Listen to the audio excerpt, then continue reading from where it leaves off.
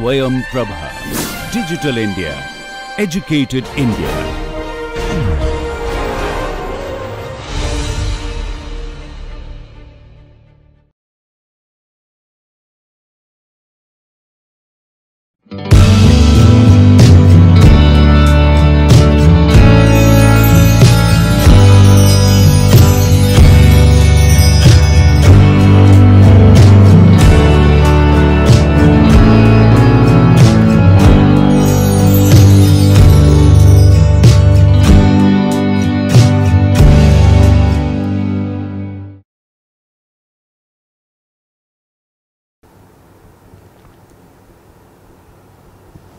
Hello and welcome friends to this third and concluding lecture on Ram Manohar Lohia. In this lecture we are going to focus on his views and um, his uh, proposition or his solution to the uh, emotionally charged and politically contentious issue of language problem in India. So today in this lecture we will discuss his views on uh, language, the kind of solution he was uh, providing and how the issue of language for Lohia is part of more than a cultural or the question of identity and how he related it with the question of democratization, social equality and empowerment of the uh, masses. So, uh, Lohia took uh, the issue of language in the broader context of democratization and social uh, social equality in India. So, uh, he did not uh, see or studied the language problem in its isolation. He saw it in the connection with the other problem that was uh, there in um, uh, in post-independent India. And here it is also to recall the kind of intersectionalist approach that he uh, he had um, about the politics, about um, and how that can be overcome by looking at simultaneously different uh, interconnected problem be it caste, class, gender, language etc. So, Lohia has a kind of broader uh, approach towards uh, uh, the politics. So, in this lecture we are going to focus primarily on his views on Indian language. So, uh, Lohia's approach to Indian languages was integral to his philosophy or his understanding of a kind of different or distinct brand of Indian nationalism, uh, Indian socialism that he was arguing and he did not approach the problem of language as a separate or isolated issue in India. So, as uh, he was a culturally sensitive and a rooted political activist, he understood how English language excluded the millions of Indians speaking Indian languages from the corridors or positions of power. So, Lohia did understand the language or domination of English and uh, it is uh, not correct uh, to brand him as a kind of chauvinist linguistic figure, but to see his uh, philosophy about language or his support for Indian language in the larger context where uh, for uh, Lohia any kind of domination or hegemony of one over the other was problematic and need to be opposed or um, dismantled and his opposition to English language was in continuous and in continuity with such kind of uh views and politics. So, uh, Lohia as himself was a kind of culturally sensitive. So, he understood the social and the cultural value of different languages in India. At the same time, he was also aware of how a particular language, say in the context of India, English, prevented a large number of masses, millions of Indians who used to speak their mother tongue, different uh, uh, Indian languages, modern Indian languages, were excluded from the corridors of power because of their inability to understand or speak a foreign language. And that is the basis of his uh, uh, larger criticism to uh, the domination of English language rather than the language form or the English language per se. That was the basis of his criticism and also uh, the other criticism that he had against the domination of English was it also damaged the Indian political thought and reduced it merely to a kind of derivative thinking. So, you may be aware of a kind of um, uh, borrowing of ideas, concepts, themes and methods to explain and India, uh, interpret Indian society. And in the beginning of this uh, course, we have also talked about how Indian political thought and more critical engagement with the modern Indian political thought enable us to develop or to uh, identify the concepts, themes and method through which we can better explain Indian society and not by merely borrowing the terms, concepts and methods from the um, um, other soils or the uh, foreign um, um uh, foreign origin. So, um, uh, Lohia besides this uh, domination of uh, English language in terms of excluding the millions who speak their respective mother tongues or Indian languages from the corridors or positions of power, English language also damage the uh, political thought, Indian political thought by reducing it to a form of merely derivative thinking where we borrow the concepts, ideas and methods from uh, say west or say European countries or some other uh, foreign uh, foreign soils and then try to apply it to understand, explain and Indian uh, interpret Indian society. So, Lohia was against that kind of derivative thinking also. So, to uh, support Indian languages for Lohia was also to strengthen, to assert the independence or the capability or competence of uh, Indian um, um uh, in a way uh, the text I have told you to read uh, Swaraj idea in terms of thinking how one can apply one's own theories, concepts independently from any kind of uh, derivation or borrowing from other uh, others. Also, as uh, Lohia's um, support or support for Indian language and opposition to English was also to do with this strengthening of uh, Indian languages and Indian political thought and rescuing it from a kind of derivative mode of uh, thinking. And therefore, he considered removal of English as a major problem for Indian democracy. So, this is for Lohia the biggest problem and um, to free oneself from uh, domination not uh, merely the political or the physical material sense of the term, but also cognitively in terms of thinking how one is uh, free and independent to uh, to understand, to explain, to uh, then provide solution to the various challenges that a country or a society is facing.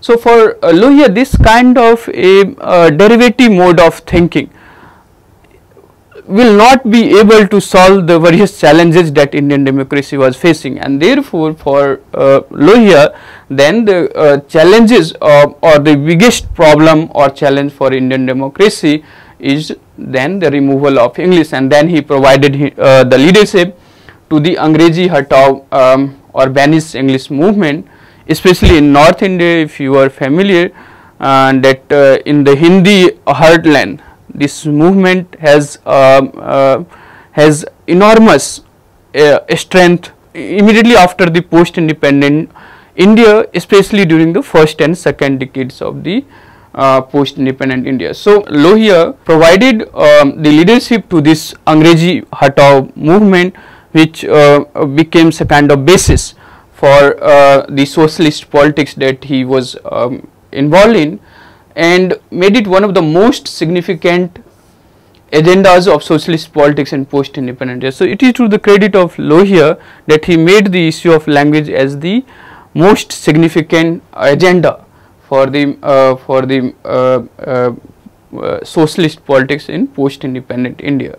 And in place of English, he wanted Hindi or Hindustani to become the lingua franca of the country. So, during that kind of situation or circumstances, uh, so uh, uh, there was this trend of thinking about a lingua, a lingua franca which English provided for a very long time when uh, there was a um, um, uh, debate or uh, there was growing consciousness or what we call Indian Renaissance. So, different provinces speaking their respective languages coming together and forming Indian nationhood or uh, uh, um, uh, discussing their challenges, English provided that kind of link language to the nationalist leadership.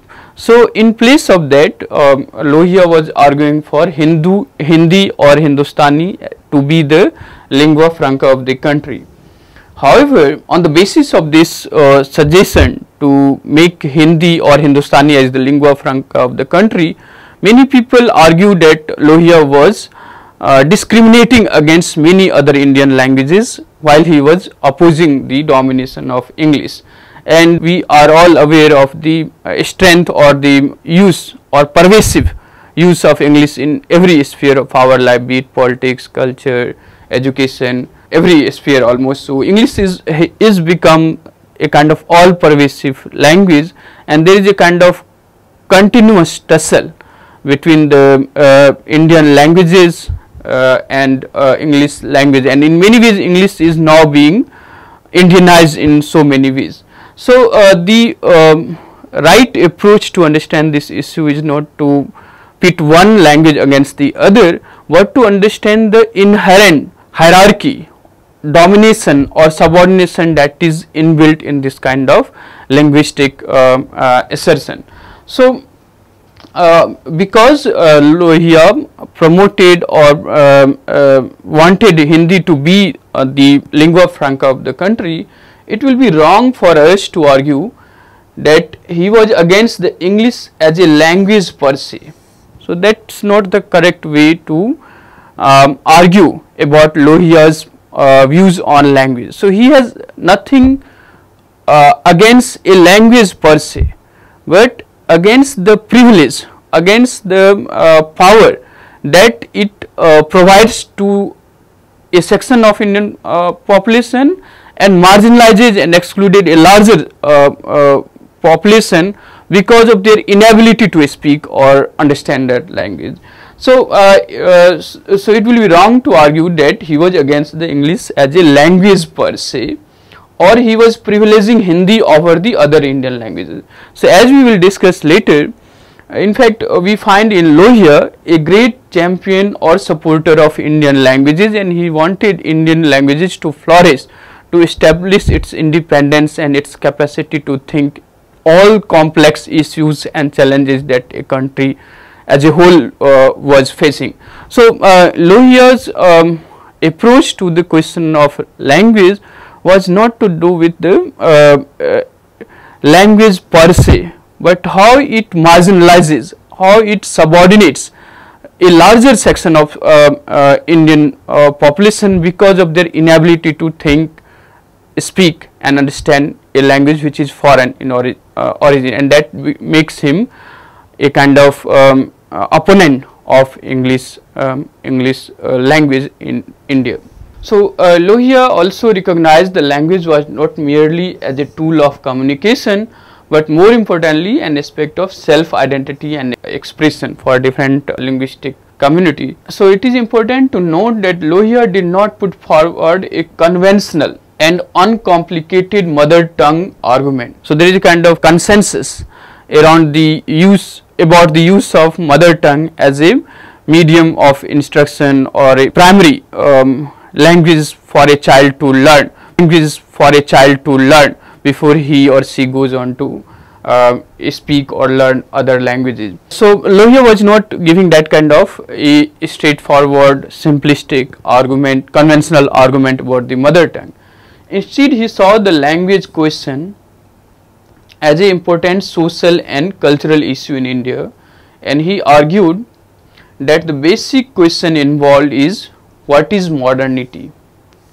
So, uh, in Lohia it is also uh, necessary to see the interlinkages that he was uh, uh trying to, uh, to uh, construct between the question of caste and class to the question of gender, to the question of language and how these all create a kind of um, hierarchy between the ruling class and the larger population and how to make democracy uh, more uh, empowering to those who are excluded from the uh, privileged uh, class or uh, the corridors of power. And that is something which um, Lohia trying to uh, argue for through his understanding of uh, modernity and the questions of modernity. So, he, uh, the complexities in his argument is about the interconnections between different uh, categories be it caste, class, gender or language. So, the basic question involved is what is the uh, what is modernity? Is it such a thing which could come only through English? So, many people will argue that um, modernity in India and the modern uh, thinking or modern institution, modern uh, practices, modern uh, lifestyles uh, comes only through English language. Modernism, Lohia argues, is an attitude towards men and matters that today's men have developed with the advance of science and technology, an attitude fundamentally based on reason, knowledge and truth and not on sentiments, superstitions and orthodoxy. So, there he is making a kind of distinction between what it uh, takes to uh, uh, consider something as modern and something which is not modern or which is merely orthodox or superstitious.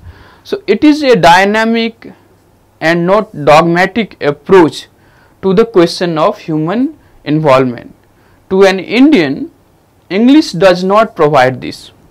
So, for most of the Indians who and um, uh, uh, even in contemporary terms there are a very small section of Indian population who can speak uh, or uh, understand uh, English. But think about 1950s and 60s uh, where they were getting the political rights, but their understanding of such rights, their involvement with um, such um, political development was very uh, different and then to consider English then as a vehicle for modernity in India was a kind of hypocrisy for um, for Lohia.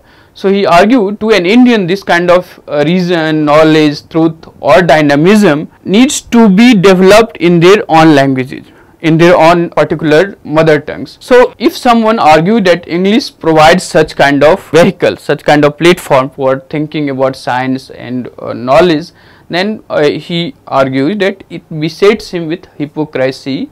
It turns an Indian into a bundle of complexes, a man with no human personality and imitating headless monkey. So, that is the kind of uh, philosophical argument that Lohia is making here. So, uh, and there is also then in Lohia's thought and philosophy the possibility of thinking about modernity in a different way than many people, many scholars have been arguing about the role of colonial uh, intervention, their um, uh, uh, uh their institution buildings or uh, the language or the education system that they provided that should be the basis of um, or that is considered as the um, provider or a kind of um, uh, facilitator of modernity in India. Lohia was arguing in a very uh, very different way or distinct way to understand Indian modernity or to bring about modernity in India by uh, by bringing science, technology, truth, dynamism through Indian languages and not merely through the vehicle of English as many people have been arguing. So, his uh, plea for banishment of English was mainly aimed at dislodging English from its privileged position as the lingua franca of the elite, not of the masses, as the de facto official language of the country and as the medium of instruction in the educational institution. So, uh, Lohia's opposition to English language is based on these three uh, uh, regions or three uh, um, uh, reason was uh, for him to oppose English as a language of domination in India. And why English has a privileged position? The first is that it provided a kind of lingua franca of the elite and not of the masses. Masses still speaks in their mother tongues in their provincial languages. So Lohia's opposition to uh, English language is based on these three uh, criteria. One was uh, that English acquire its privileged position because it is the lingua franca of the elite. And here the point that we need to stress is, is the lingua franca of the elite and not of the masses. Masses still speaks their mother tongues, their provincial language and find it difficult to understand or comprehend English as a language. So, immediately then the English and uh, in ability to speak English uh, gives a person in India a kind of privileged position. So, uh, uh his opposition to English is because it is the lingua franca of the elite and not of the masses as the de facto official language of the country. So, there are besides English there is Hindi and many other languages which is the official language, but de facto in practice it is the English which is the official language of the country and that is why uh, he was critical or uh, he was opposing the domination of uh, a foreign language English uh, as the official language of independent India and also as a medium of instruction in educational institutions. So, English has the kind of unmatched position in academia or in the educational institution. So, so in terms of thought as we have been arguing that we do not uh, seriously engage with the with the um, uh, Indian languages and how these languages uh, tries to uh, engage with some of the uh, modern ideas. And this is something which I have also uh, discussed in my introductory lecture. And in my concluding lecture also I will briefly discuss this issue of how to expand the uh, boundary of modern thinking and thought uh, to include different provincial languages within its uh, its domain. So, on these three bases uh, Lohia um, um, um, uh, was very critical of uh, the privileged position of English in India and he opposed English in independent India not because it was a foreign language. So, the other um, points that we need to stress is his opposition to English is not because its foreign origin, but because it was in Indian context a vehicle of inequality and cultural heteronomy. So, uh, his opposition to English is not because it is a foreign language, but in Indian context English is a vehicle of social inequality or uh, cultural heteronomy. So which divides between the uh, different cultures different uh, languages different community.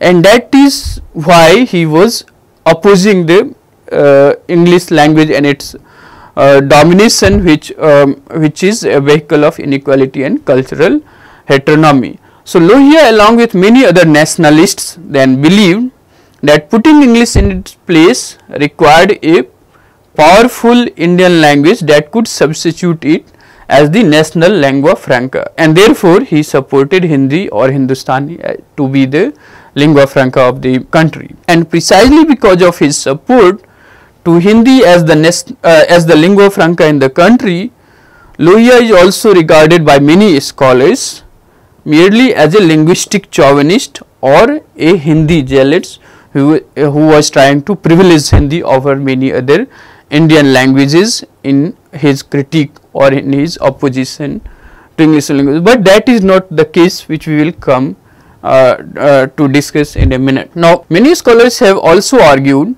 that Lohia's search for a language that could take on English led him to believe that a very wide range of languages could be subsumed under Hindi or Hindustani and that the speakers of all these languages could be persuaded to use Nagari script in writing their uh, respecting language. So, the languages that Lohia was um, arguing to be subsumed within uh, the Hindi or Hindustani was say Punjabi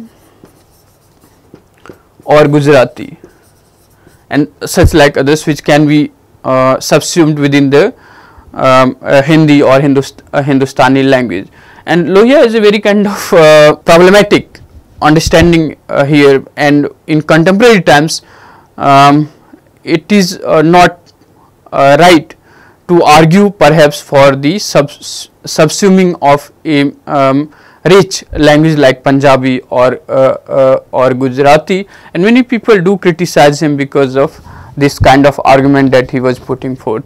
So, he came up with three different proposal to address the sensibilities and concerns of the non-Hindi speakers and to convince them to support his Banish English campaign or Angreji Hatao Andolan. So, first he proposed Hindi as the official language of the central government with all the central government jobs reserved for non-Hindi speakers at least for a specific period of time to enable them to learn uh, learn Hindi.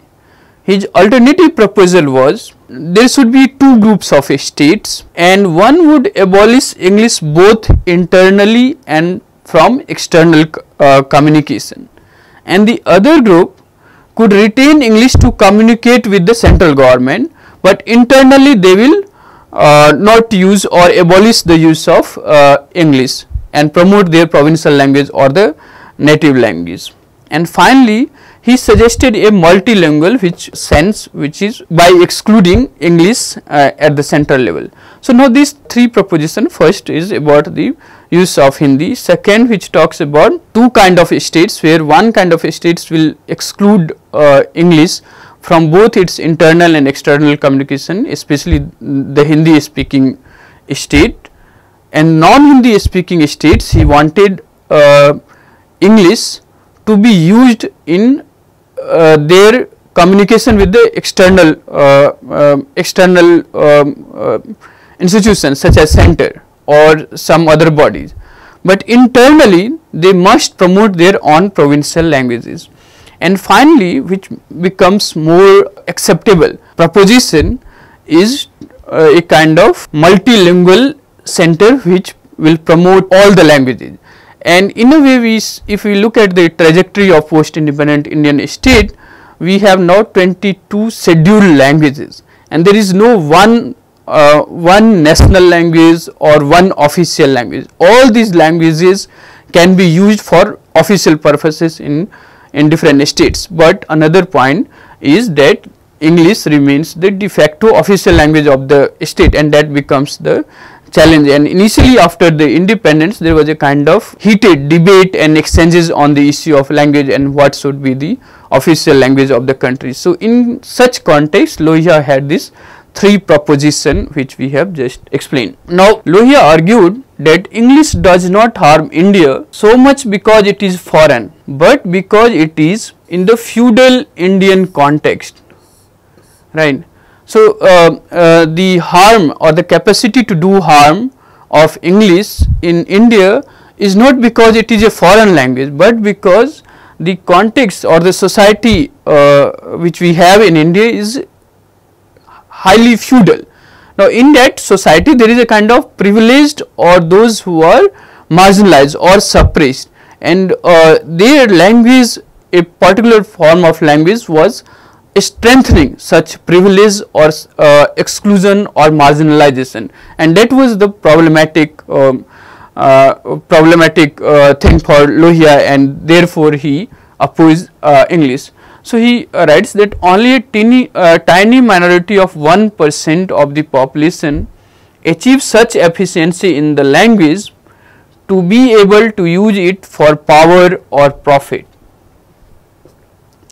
To this tiny minority, English is an instrument of domination and exploitation over the vast masses who cannot speak that language as efficiently as they can. And when we say banish English, we certainly do not wish to banish it from England or America nor even from India's colleges. It is uh, if it is an optional subject. There is no question of banishing it from the library. So, uh, it will be wrong for us to argue that he was against learning of English language or against the use of English language per se but his opposition to English was because it strengthened those who are privileged, those who are exploiting or marginalizing the vast masses of Indian population who cannot speak that uh, language and that is the basis of his Angrezi Hatao Andolan or Banish English movement. So, Lohia asked for school instruction to be provided in the mother tongue as it, uh, there have been universal consensus on this, but insisted that children must in addition to their mother tongues learn at least two other languages and in that two other languages one should be Hindi and the other should be either a foreign language or any other Indian languages. So, he had this kind of three language formula where the primary language should be the mother tongue, but besides that all the children should be uh, taught at least two languages where one should be Hindi and the second should be either a foreign language or any other Indian language. So, he saw the need for an international language to be used in communication between nations, but was not convinced that this language for uh, communication in the international arena should always be English. It can be any other language, French or Chinese or maybe even Russian. So, he was against privileging English as the only uh, language for international communication as well. So, some scholars therefore argue that Lohia clarified repeatedly that he was for removal of English and not for the establishment of Hindi because for him the real question was feudal language in India versus the people's language. So, uh, in his approach to the language problem what we find is Lohia was uncompromising, very clear about his opposition to the removal uh, to English or its removal from the um, um, privileged position in Indian society and um, Indian polity. But whether that should lead to establishment of Hindi, here we see a kind of um, ambiguity in Lohia's approach where we find him more accommodative, more, uh, more flexible. So, Lohia argued that the war of the Socialist Party on English is for the sake of the mother tongue, which means Uriya, Bengali, Tamil and Telugu as much as Hindi. So, it is not about privileging Hindi over any other Indian language. He wanted Indian languages to be uh, strengthen to have more uh, uh, say or uh, contribution in our official and public political discourse in place of um, uh, in place of English. And there that Indian language need not to be Hindi. And uh, here is the catch. Because during that time there was a kind of belief that there has to be one lingua uh, lingua franca which should replace the English. But um, now we uh, increasingly believe that the multilingual uh, country like India can uh, well communicate or um, uh, exchange the ideas or um, their um, thought by speaking by using more and more their on uh, provincial language. And uh, Lohia increasingly tried to accommodate such kind of multilingual scene rather than replacing one uh, mono language to the other mono language be it Hindi or any other Indian language. So, the focus of much of his writing was on how the dominance of English has led to loss of self confidence and unequal opportunities for the masses and has dwarfed the Indian mind. So, there is a kind of uh, damage to the emergence or the development of Indian political thought also because of such domination. So, he argued passionately that Indian languages not just Hindi are adequate for that task uh, for modern society or polity and can be further refined if we start using them in our public spaces. So, he identified state patronage and school education as the key for the rejuvenation of Indian language and therefore, how uh, Indian language can be promoted and strengthened when there is a state patronage to it, when there is a kind of school education in Indian uh, languages. And all these concerns were not confined merely in Lohia's writings, but also appeared in the resolution that was passed by the Angrezi Hatao Sammelans that he instituted. So, Lohia through his writings, through his political activities was increasingly championing the cause of Indian languages which is not uh, to be understood only as Hindi or, uh, or uh, Hindustani. And there uh, many scholars have uh, have um, wrongly uh, reduced Lohia's approach merely as a kind of supporter of Hindi or a linguistic chauvinist, but actually Lohia was trying to um, argue or support the cause of all the uh, Indian languages and uh, as um, Hindi as he was doing for Hindi. So, uh, while Lohia was uh, so what we find in Lohia is while he was uncompromising in his opposition to English, he was always open to correction and accommodation regarding his views on Indian languages. So, there we see a shift in his uh, uh, position about Indian languages, especially about the role of Hindi.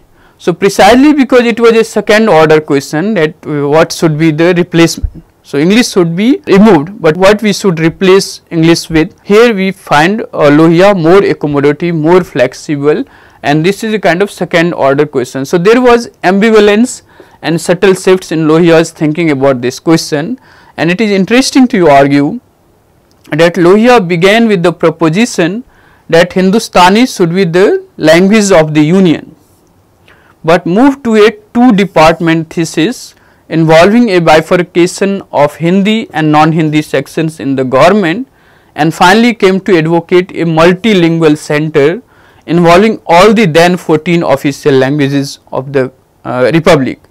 So, later on he used to often remark let Hindi go to hell in his remarks.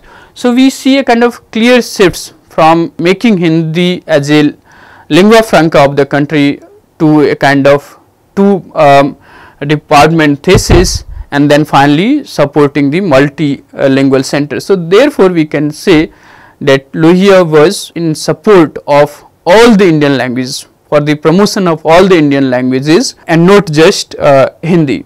So, um, now to summarize uh, the core arguments of Lohia's on language, one can do it through this two quotation from Lohia and first is about English and then the second is about the language policy of the state and which language needs to be promoted. So, about English he writes, it is now impossible to banish the public use of English without the desire of the people. The policy of removal of English gradually which has been adopted by the government of India is proving more dangerous than the policy of retaining English forever. So, the chief problem is the removal of English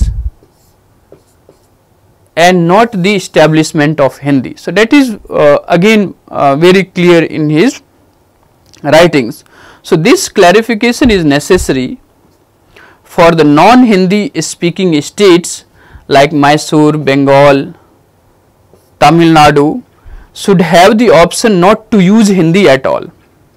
They may use their own languages, but they also must remove English. So, uh, the greater attention and the more focus of Lohia is to remove English that is the bigger challenge than the establishment of Hindi. So, he wanted to promote and not to use English uh, Hindi at all by the non-Hindi speaking uh, Indian states but it is necessary to remove English uh, uh, from its power uh, position of uh, privilege and domination. The second quote is about the language policy. So, a correct language policy has to be evolved. Hindi should be the language of the central government. Immediately after the gazetted post of the central government, should be reserved for the non-Hindi speaking areas for 10 years. The center should correspondent with the states in Hindi and the states should correspondent with the center in their regional languages until such time they learn Hindi. The medium of education up to graduate course should be the regional language and the for postgraduate studies it should be Hindi the district judge and magistrate may use their regional languages whereas the Hindi uh, the High Court and the Supreme Court should use Hindustani. The speeches in Lok Sabha should generally be made in Hindustani, but members who do not know Hindi may speak their own language. Although it is a correct language policy, any state or its government which may not like to adopt this policy and wishes to continue with its regional language should have the freedom to do so. Now, uh, this is very comprehensive uh, approach to the whole issue of language and language policy of the state. So, it should not be objected to although it will be a regrettable situation. I believe this is a temporary difficulty. Therefore, keeping in view the pernicious propaganda and interest of the nation, the chief aim of our movement uh, Angrezi Hatao Andolan should be removal of English and not the establishment of Hindi. It is certain that Hindi shall be established on an all India level in due course.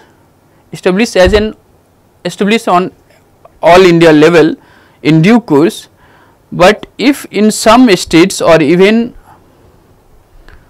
on the all India level Marathi or Bengali is uh, established, we should not mind it. So, that is a kind of openness or accommodative approach to other Indian languages in his views on language, but one uncompromising stand that he has is about the removal of English and that is to not to do with the uh, language per se, but the kind of uh, privileged position, the kind of domination it enables to its speaker in a society which is uh, highly uh, uh, feudal society like India. So, there the issue of language is connected to the issue of social equality and to the larger question of democratization and therefore, uh, he was against the kind of privileged status that English language provides to a few section of Indian society at the cost of the larger masses which are who are uh, who are excluded from the um, corridors uh, corridors of power. So, in this quote again we have seen the kind of proposition he was making about Hindi at the same time the objective was not to establish Hindi as the uh, uh, as the national language. Of course, it is desirable, but the main uh, objective of the whole movement he was trying to um, uh, provide leadership to is to remove English from its position of domination. So, thus one can summarize his views on Indian language in following points. One, Lohia allows state governments the freedom to correspondent in their own regional language until they learn Hindi. 2. In return for this, non-Hindi states are to be provided with reservation. So, the midlands, so Lohia also makes the distinction between the midlands and the coastlands. So, in midlands he wanted, uh, he thought that Hindi can be easily promoted as the official language, but in the coastland one needs to be cautious about promoting Hindi. So, uh, he writes that the midlands must immediately operate through the Hindi department in Delhi if Gujarat and Maharashtra and any other states opt to join the Hindustani department, they should be gratefully welcomed with whatever reservation in the services and the like they desire. So, that is the uh, second point we can draw from Lohia's position on language. And thirdly, Lohia thought the promotion or propagation of Hindi must be temporarily suspended, but this is only a tactical retreat to achieve a strategic victory. The effort to persuade the coastlands to accept Hindi must be given up for it only leads to further irritation and contestations among the non-Hindi speakers. So, according to Lohia, once the coastlands abandon English at the provincial level including the High Court, the university and the secretariat and all such public institution, it would be only a matter of time when they apply for admission into the Hindi world. So, that is the gradual strategy for the promotion of Hindi among the non uh, speaking uh, regions that Lohia is arguing about. So, uh, to avoid the irritation and contestations um, he wanted uh, the government or the st Indian state to suspend the promotion of Hindi in such region, but then wanted those regions to promote their own provincial language and gradually they will learn Hindi and uh, Hindi turn out to be the lingua franca of the country. So, Lohia's position on Indian language illustrates something more general about his approach to politics. For Lohia, Politics was a means for the empowerment of the masses which can be done only when it is conducted in the language of the people and not of the elite as English or any other foreign language. So, however, these aspects of his politics and thought have remained somewhat under theorized even to this. So, when one speaks or think or uh, argue about Lohia's views on politics, the um, subtle or invisible aspects of his um, critique to English uh, language is somewhat ignored or undermined or untheorized which we need to focus more. So, here uh, in his opposition to English um, and support for Hindi is seen merely as a kind of linguistic chauvinist which is uh, far from truth. For Lohia, the politics is about the empowerment of the masses.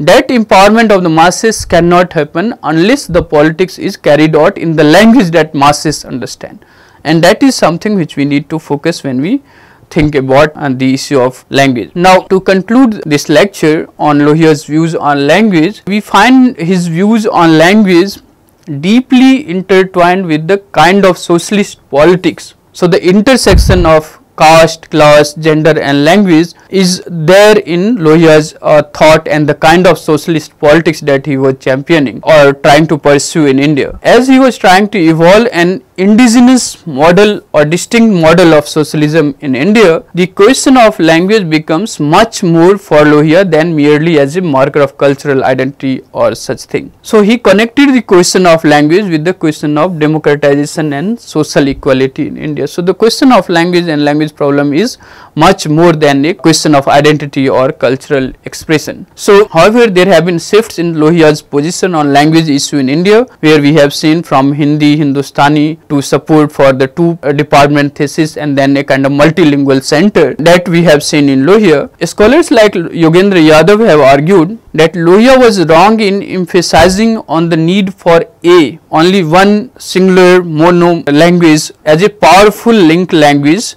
to replace English as a lingua franca in India. So, perhaps the, uh, these scholars argue the right direction would have been to look for a multilingual solution which was there in any case in Lohia's proposition as a multilingual center. So, Yogendra Yadav even goes on to express that perhaps the Indianized English can be an ally of the Indian languages in their struggle against the English. English as a language which gives a kind of privileged position in comparison to someone speaking or doing or thinking or writing in any of the Indian languages. So, a kind of Indianized English can be a ally of Indian languages to fight the English as the language of domination or the language of privileged class in India. So, in academia or among the scholars, there have been a kind of conspicuous silence regarding the politics and thought of Ram Manohar Lohia except by his loyal followers. Now, even among the loyal followers, what we find is that there are lack of critical engagement with his thoughts and ideals as one of his close associate Kishan Patnaik has argued that his followers can be neatly divided into those who ineffectively repeat his aphorisms in a disconnected manner and those who parade their loyalty to Lohia only when it is politically opportune. So, in our public political discourse we may find his loyal supporters and we can divide them into these two groups. One who can uh, repeat his aphorisms in a kind of disconnected manner and those who will parade their loyalty to Lohia only when it is politically opportune for them. Even the small sincere groups and individual whose loyalty cannot be questioned are of no use so long as they remain mere worshippers of Lohias, celebrating his birth and dead days and parroting some of his witty. So, without critically engaging with his thoughts, even the loyal uh, supporters of uh, Lohia remain entrapped in worshipping his birthdays and dead days and uh, remarking some of uh, repeating some of his witty remarks about Indian politics, society, the challenges before the Indian society and, and so on. So, there is a kind of silence or conspicuous silence about engaging with Lohia and his thought or his politics uh, critically. So, uh, the, um, uh, the absence of such critical engagement do not allow us to understand the subtle or kind of uh, um, emancipatory prospects or politics that Lohia was arguing arguing for in um, his active uh, active political life. So, the complexity as well as the relevance of Lohia's thought and ideals have led scholars and his followers differed on many grounds and uh, some of the readings that we have provided and I uh, will uh, tell you again will help you to understand such disagreements or uh, difference of opinion about many of Lohia's positions and views on caste, class, socialism or Indian languages. It is also true that many political parties, many mainstream political parties and even radical groups derive their inspiration from the life and works of Lohia. However, it is high time to critically engage with his thoughts and ideas that is something which will enable us to retrieve some of the liberatory or emancipatory potentials or ideas that is there in Lohia's thought. So, it is now high time besides the uncritical or ineffective engagement with Lohia as many of his uh, loyal, uh, loyal followers or supporters are doing or a kind of conspicuous silence on the part of scholars to not to engage with the culturally sensitive or rooted political activist and thinker like Lohia and subject, uh, subject him to critical scrutiny. Now, the time is to critically uh, sub, uh, uh engage with Lohia and subject his ideas to the um, uh, to critical scrutiny and retrieve some of the potential um, uh, liberatory or emancipatory ideals that was there in terms of thinking about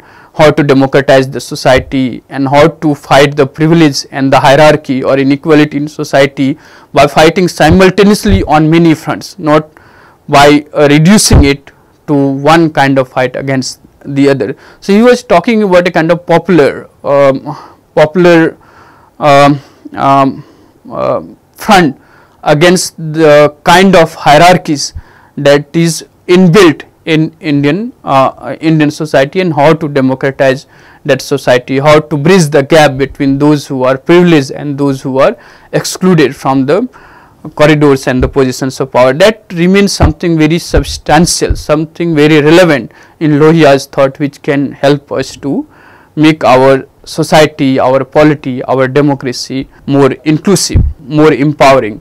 So, that is all on Lohia's. The themes that we have discussed today, you can refer to some of these works by Ram Manohar Lohia on language and then some of the readings from the EPW so, Yogendra Yadav was Lohia parochial and monolingual. Again from Yogendra Yadav what is living and what is dead in Ram Manohar Lohia and also on remembering Lohia. These are the texts you can refer to and by Sudhanva Deshpande and Yogendra Yadav, Lohia and language with rejoinder you can refer to understand specifically the core arguments of Lohia about the uh, language and then context, discourse and vision of Lohia socialism by Rajaram Tulpadi. These are some of the text which you can refer to on Lohia. So, that is all on Lohia. Thanks for listening. Thank you all.